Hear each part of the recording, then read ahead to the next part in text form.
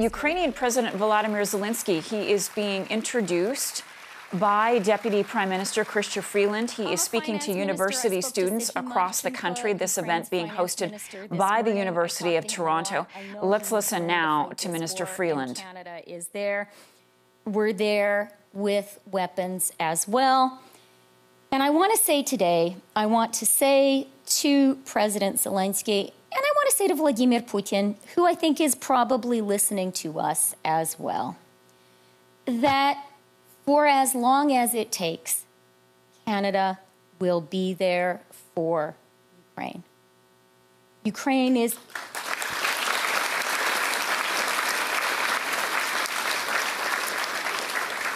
Ukraine, of course, is fighting for its own democracy, its own freedom, but we recognize that Ukraine is fighting for us too.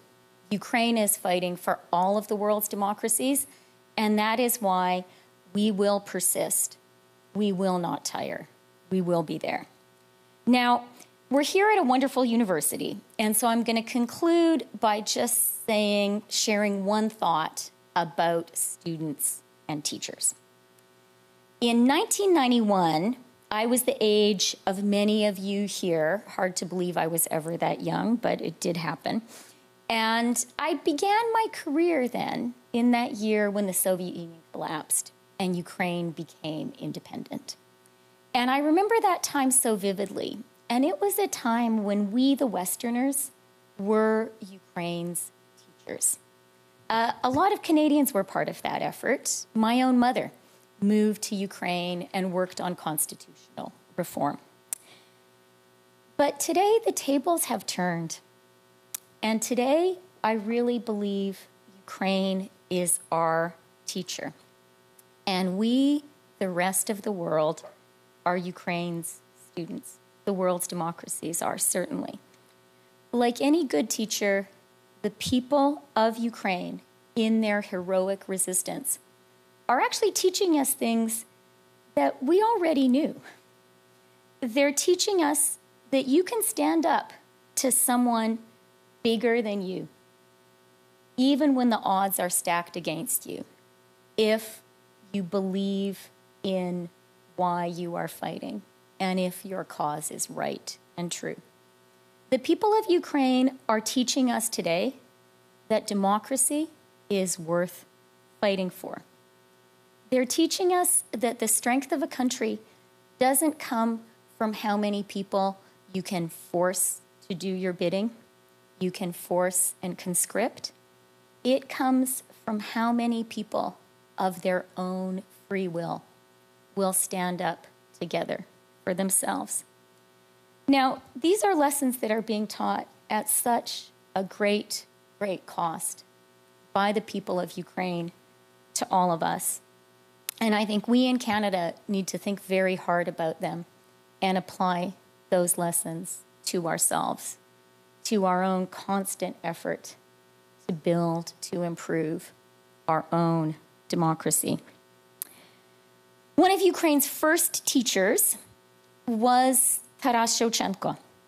He was a serf who had the incredible courage to say to his people, to fellow serfs, to people who were property, that they were actually human beings.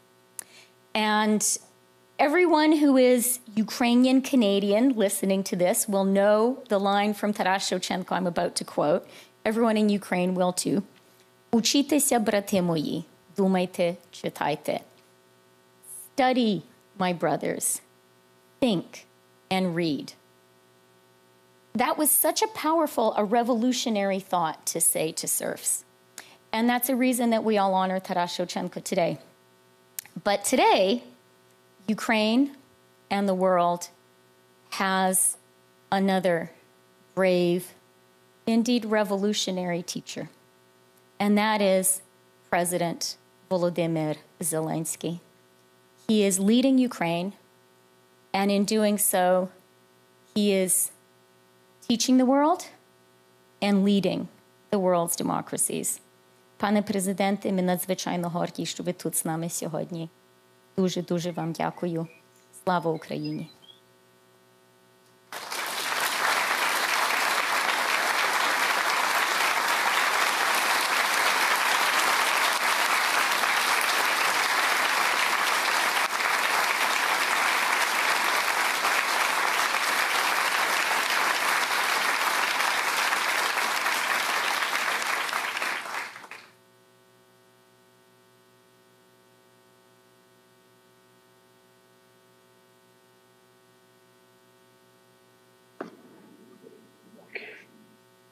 Дуже дякую.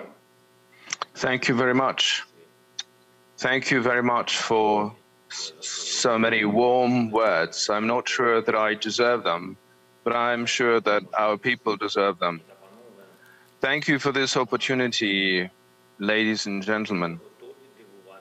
We are prepared to surprise the world, and I said those words in Toronto today was already referred to during the during the conference dedicated to Ukrainian reforms three years ago. And who could have thought that uh, uh, the there will be the big reform uh, in a different sense? Three years ago, when I was showing my vision, I was citing the team that you know very much, Toronto Raptors, NBA champions of 2019. This is when you win, when no one is expecting you to win.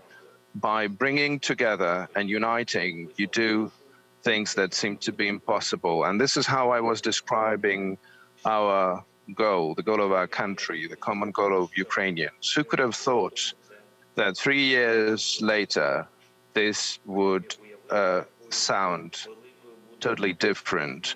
Who could have thought how great the difference will be between those times, then and now, between summer 2019 and summer 2022? Those were different times altogether we have been looking forward for other victories. We have been building a different country, a country of transparent institutions, equal rules of the game, successful and free people. Today, the walls of our buildings are transparent. Literally, they are destroyed by Russian missiles and bombs. The rules of the game do apply, but in a different meaning. These are now the rules of survival. Of course, they're equal, but they're not fair. They are cruel, rigid, and straightforward. You shoot at the front line, you help in the rear area. When you hear the air raid alarm, you go to the shelter. When you hear the noise of the enemy vehicles, you have to stand up and fight for your country. In 2019, I was talking about peace in the east of Ukraine. We've talked about this with Chrystia and Prime Minister Trudeau. The liberation of Donetsk, Lugansk, and the Crimea. We have been doing all it takes at all different platforms, using all possible diplomatic instruments. Ukraine sincerely was willing to make it happen. But the other side uh, wanted something very different. And we have seen what it was.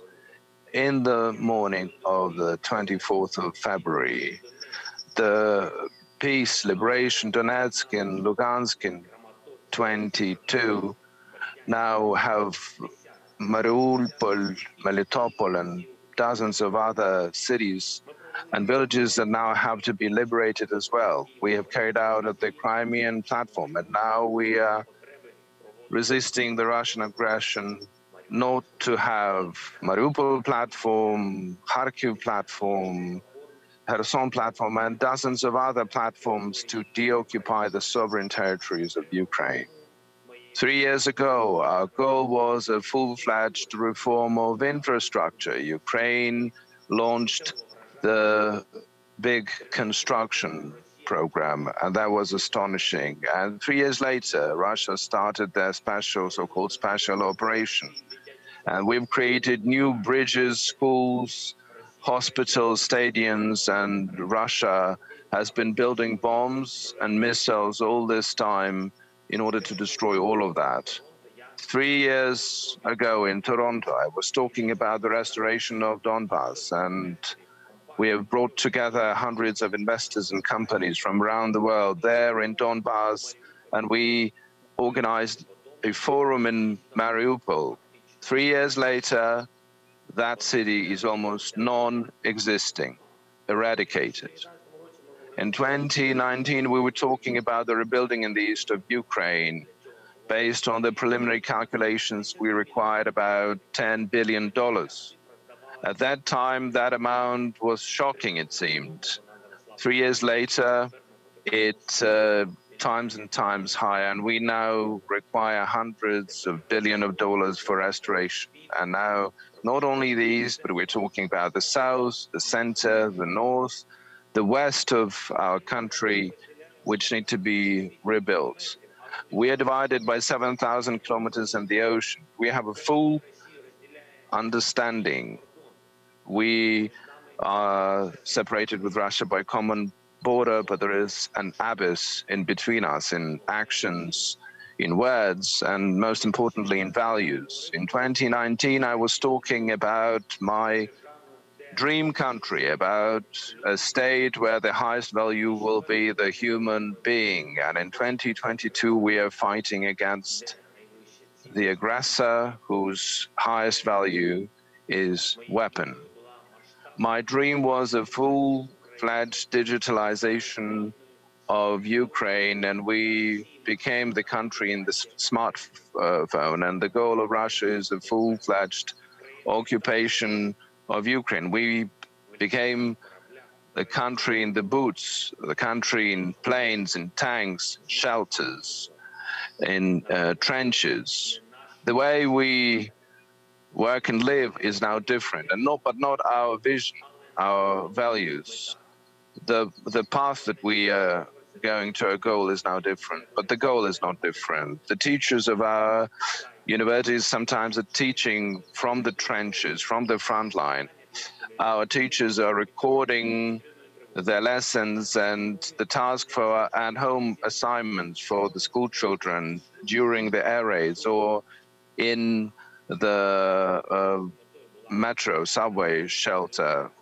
Sometimes they even marry in Zoom because there's no any any other way around. And uh, Three years ago, we were talking about the uh, capable local government. And three years later, we're talking about powerful territorial defense. Those were different times. Our goals have not changed. The only difference is in order to make it all happen now, we are fighting against the second strongest army of the world. We are fighting for our future for our freedom and for our land, just like 80 years ago during the Second World War. Today in Ukraine, we have a special day. We commemorate the heroic deed of um, uh, former generations. This is a sad day of commemorating the victims of war that we celebrate on the 22nd of uh, June. On this same day in 1941, Nazis starting bombarding Kiev in four o'clock in the morning. Those were different times, a different occupation, a different war. But our spirits, our longing for freedom and fight have not changed since. And uh, on the 24th of February, 2022 at 4 o'clock on that same time when Russian missiles flew into Ukraine, we stood up to defend our country. Today we're, we're fighting for the future of our children and grandchildren, for the possibility and opportunity to build the new country. We already surprised the world. We've, we've come together to do the impossible, and we shall prevail, although against all the odds, for the free and democratic future. And those will be different times. What kind of times and how this will look like will will we will see together. We will go there together. And I think this is something that we will discuss here today as well. Thank you for this opportunity. Thank you for this meeting. And thank you, Canada, for your support. Slava Ukraini.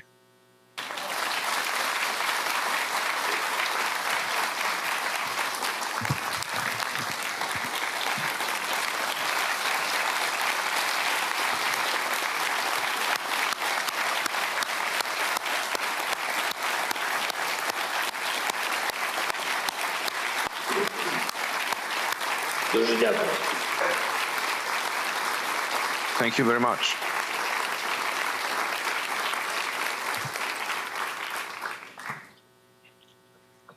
Thank you, President Zelensky. We're deeply honored you've taken time to speak with us and with university students.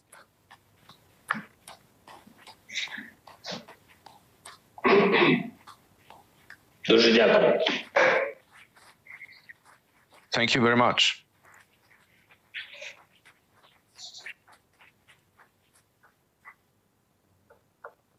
Thank you, President Zelensky.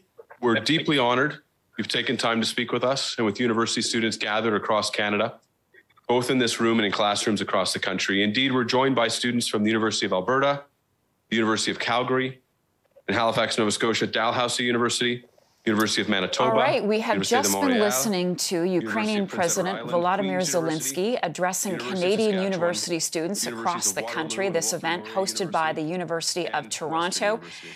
The My name is Peter uh, Moore. I'm the director of president Law School of saying there that this is not, of course, the way he pictured things to go. when he Program for the study of Ukraine. got into power in Ukraine. He wanted to modernize the country, but he said when it came to the war, when it comes to the war with Russia, he compares it to the Toronto Raptors win three years ago. He said that you can win when no one expects you to. Again, this event being hosted by the University of Toronto.